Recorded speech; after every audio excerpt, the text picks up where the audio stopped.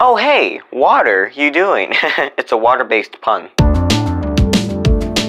Hello ladies and gents, my name's Hamble and let's talk about the Moist Critical Multiverse. This amazing story starts a while ago where this one guy from Puerto Rico made this video about him cosplaying as Moist Critical. In this amazing video, he basically told the world that he was Puerto Rican Moist Critical and he basically screamed to the skies, Woo! Yeah, baby! And after this video, there have been so many more Moist Critical variants. And every day there is a new variant out there. It's absolutely crazy. And I thought, I don't look anything like Moist Critical, but I know one thing I can do and I can make robots, right? So introducing the Moistbot, the best way to get your woo yeah baby onto the world. With this brand new sleek design, just like the video where the whole woo yeah baby meme originated, whenever Charlie hears the word unicorn slime, he'll look up and scream, woo yeah baby. And not only that, but whenever you ask this man why he killed you, he'll scream at you it was a misinput. But I think that's enough said, let's get into the build.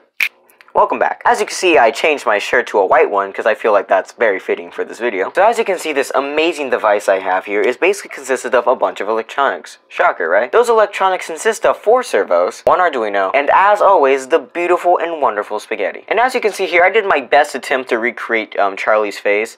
I'm not, I'm no artist, but I think I did a decent job. And he's also rocking the white t-shirt, but not just any normal white t-shirt. He's wearing the Moist brand white t-shirt because I think it's fitting that he wears his own white t-shirt for his own robot, right? The whole way that this amazing device works is whenever I have it plugged into my computer and play this specific code, it whenever it hears the word unicorn slime or uh, why did you kill me, it'll act out certain um, gestures. So whenever I'd say uh, unicorn slime, it would say woo! And whenever I say why did you kill me, it would say misinput. A little like this. So we have it setting up right now.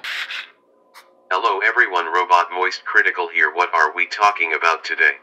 Why did you kill me? There's a misinput, misinput, calm down! Down, down, You down, down. calm down! Oh, Jesus!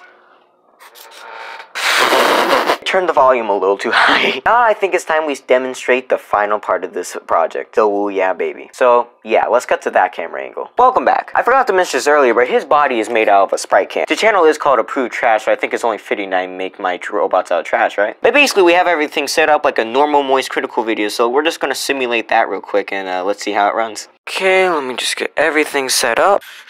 Hello everyone Robot Moist Critical here what are we talking about today? Unicorn slime.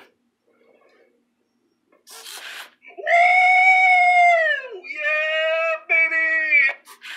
That's what I've been waiting for. That's what it's all about.